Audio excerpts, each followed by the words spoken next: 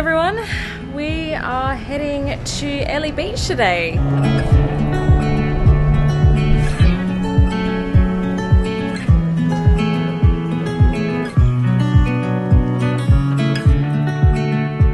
Airlie Beach is kind of like the main town in the Whitsundays where all the kind of major marinas are, all the shops and restaurants and pubs and things like that. All the day trips and excursions leave, almost all of them leave from Airlie Beach.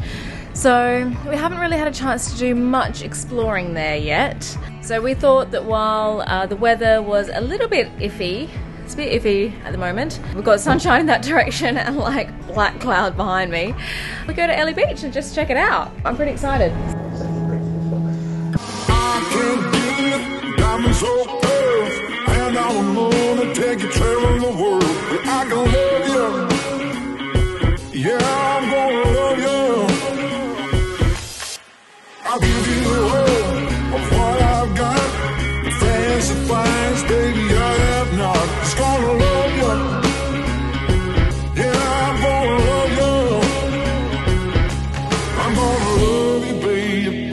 Hope to die. Just in the midst of dropping the mooring line, the strop, and then we'll get the sails up and get going. Good morning. It looks like we've got 30 to 35 knots of wind today, again. Um, it's a good downwind sail. So I think we'll fly under jib downwind. Um, should be a fast passage because we have uh, the winds behind us and the tide behind us. And the other thing we're trying to do is just get between bands of rain. So we've just had one squall pass through. Um, there's another one probably about half an hour off. So I think what we'll do is we'll get out, um, get the boat, get the boat settled, and then get the jib out and just blast downwind. All right, let's get going.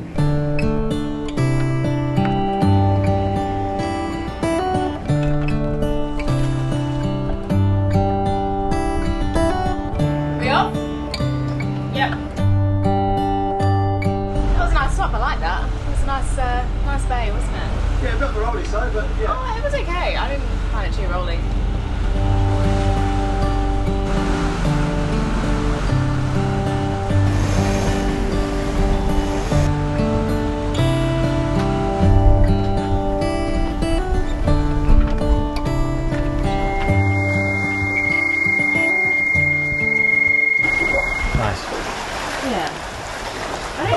It's weird. I feel like we're in like either in a wind hole or that water is deceptive where it's like got all the white caps over there.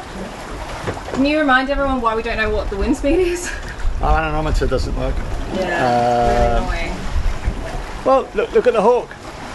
Oh, I, know what direction it's coming from, but it's Well, that's 15 odd knots, I think. Fif- yeah, 15, 17 knots. yeah. The luff needs to be adjusted on that. Alright, baby, I'll let you go. Yeah, that's better. That's better. We're not used to having a traveller on the sheet, are we? Okay.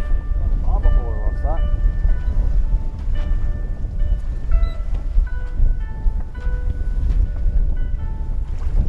Okay.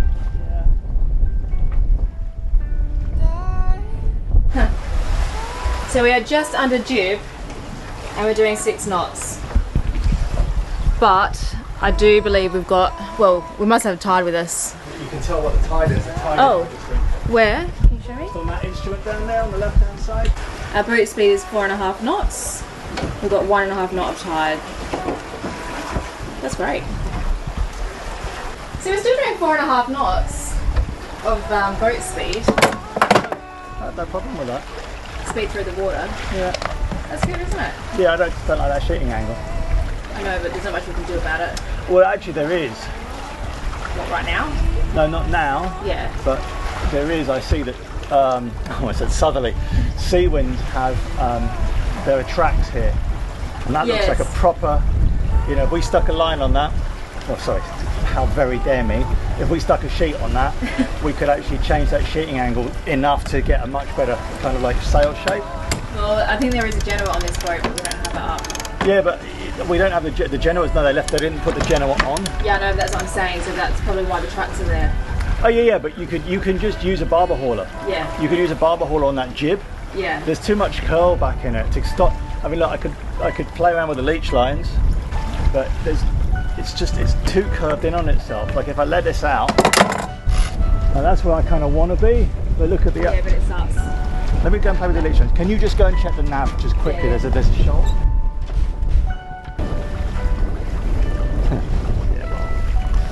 Charlie company obviously doesn't want you playing with your leech lines. I've tried all sorts of Jumanji knots in that. All right, well there you go. Oversheeted, or uh, you're losing the upper third. And a barber hauler for the clew Yeah. down here, you'd actually get the sheeting angle, which would actually, if you had this pretty far forward, so that you didn't get it br- abrading on there, you'd actually get a really nice, you get a really nice sail shape. Yeah. There you go, there's a compromise. Don't forget drive comes from the bottom two thirds. Wow, a nice calm sail. That's a first here in the Whitsundays. I've not had that yet. It's lovely. Really, really beautiful. It's crazy the weather here. Like one minute it is like torrential downpours and crazy gusts of wind. And then the next is just like a gentle breeze and bright sunshine. It's, um, I guess, kind of that typical subtropical weather, but yeah, it's kind of crazy.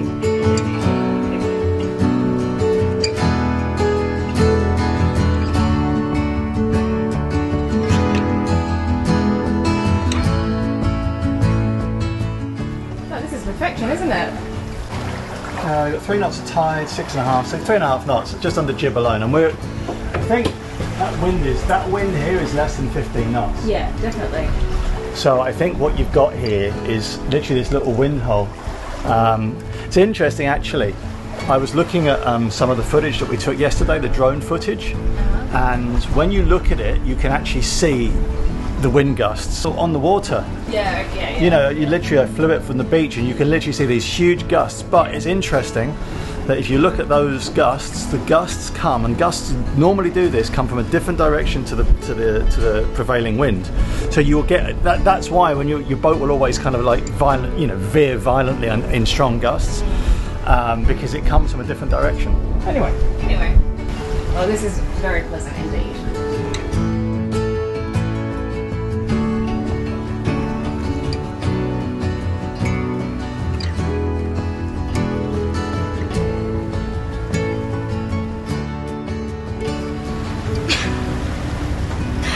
Nick literally just deliberately crash landed the drone into the boat.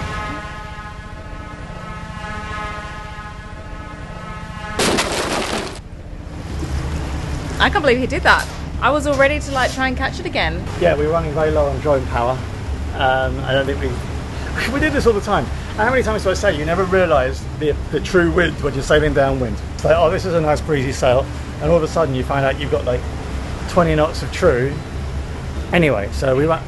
Well, the drone was running out of power. We tried to manually catch it the normal way, the normal way we do it. Three or four times, I judged it. I deemed it to be a risk to your fingers. Um, well, we almost crashed it launching it.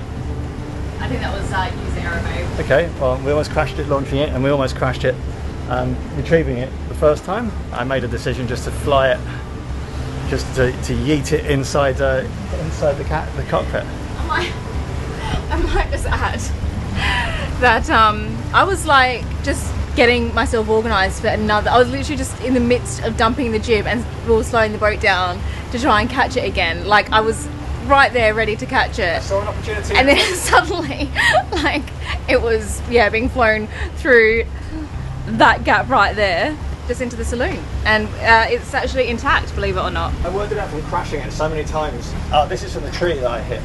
Yeah, we've got some kind of war wounds. Use it or lose it.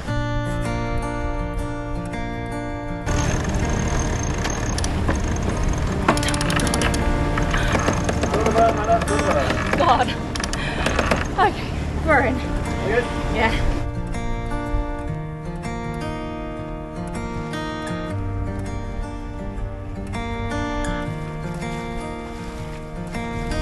Just coming into uh, the mooring field now. It's very, very beautiful around here, you know. Very, very beautiful. So the plan is that we are going to pick up a mooring bull. We've called up the uh, charter company. They have a bull that um, is available for, for the use of the charterers. I hope you can hear me over this wind. yeah, we're going to stay here for a few days, I reckon. Just explore Airlie Beach. I'm pretty excited. It's fairly windy in here, but it should be fairly well protected from the southeasterly uh, winds. They are the prevailing winds at this time of year, so I think it's pretty well protected. The moment, it's really lovely and sunny. From Charlie. Go ahead, put your. Over.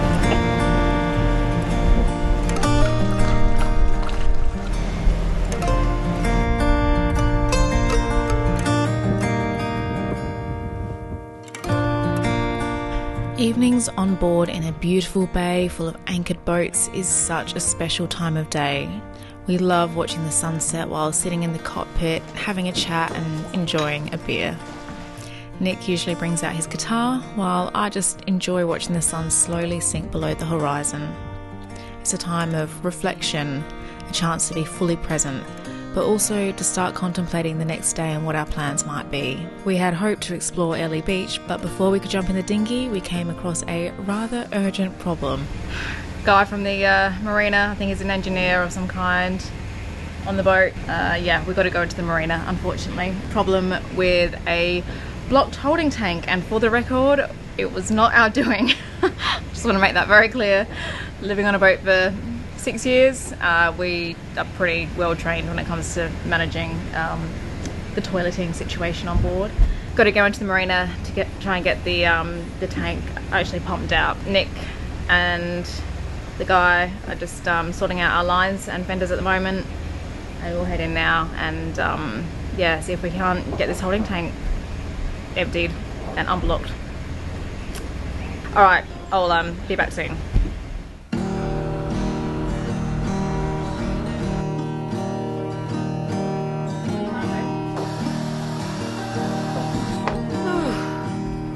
So the holding tank is uh, unblocked, which is lovely. Nick, do you want to explain that whole thing?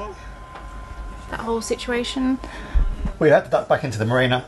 Our holding tank wouldn't empty, and um, despite everyone going, "Ooh, that's a horrible thing," you know, have you? How did you manage to gunge that up? It's scale. Uh, the pipes scale up with time, and um, yeah, it's got to be manually pumped out, and then uh, the the, uh, the tank has to be treated with acid to um, kind of dissolve all the scale. It's what happens is when you get seawater, seawater mixes with urine and creates uric acid crystals. So over time, the bore of the pipes just decreases and decreases, and eventually a bit of scale will kind of break off. A bit like having a heart attack, only in holding tank form. So yeah, we've had to just duck back in. They literally fixed it in ten minutes. Thank you to the the, the company. They're like, well, just stay here tonight. We're not going to charge you. So um, you know, we've got some chores to do this afternoon. We get the boat tidied up again, and then we'll head off in the morning. So that's uh, holding tank fixed. But that's a freshwater. Um, Saltwater flush. it's a saltwater flush. Oh, I see. I tasted it. Ew. Well, only from the toilet inlet to be in the holding tank. Hmm, I think we had cardamom last night. After so much time spent amongst the mostly uninhabited Whitsunday Islands, coming into action packed Airlie Beach was a welcome change of pace. As the weather started to clear up and the sun came out, we spent several days here enjoying the relaxed holiday vibe. The beaches are gorgeous and the people are so friendly. We loved Airlie Beach and we felt that we could have spent a lot more time here. However, after a few days of daily walks to the market and nightly beers at the Marina Bar, the islands beckoned once more. Join us next week for an exhilarating sail to Cid Harbour. Tell you what, this boat is absolutely flying along. It feels really, really good. I'm happy. Skipper's happy. And a tough but rewarding hike to the top of Whitsunday Peak. Oh wow. Jesus. Are you still alive? Thanks so much for watching. Don't forget to subscribe and leave a comment with your thoughts, and we'll see you next week.